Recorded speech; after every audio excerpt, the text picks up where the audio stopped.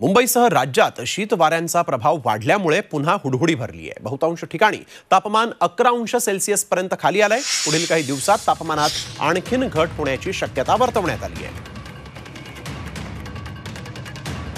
तर महत्त्वाच्या जिल्ह्यांमध्ये किती तापमान आहे? पाहूयात ग्राफिक्सच्या माध्यमातून. नाशिकमध्ये अकरा अंश सेल्सिअस इतकं तापमान नोंदवण्यात आलंय. संभाजीनगरमध्ये अकरा पूर्णांक चार अंश सेल्सिअस.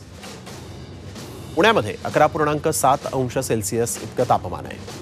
तर बारामतीमध्ये देखील अकरा पूर्णांक आठ अंश सेल्सिअस राज्याला या तापमानामुळे हुडहुडी भरली आहे. जळगावमध्ये बारा पूर्णांक सात महाबळेश्वरमध्ये तेरा पूर्णांक दोन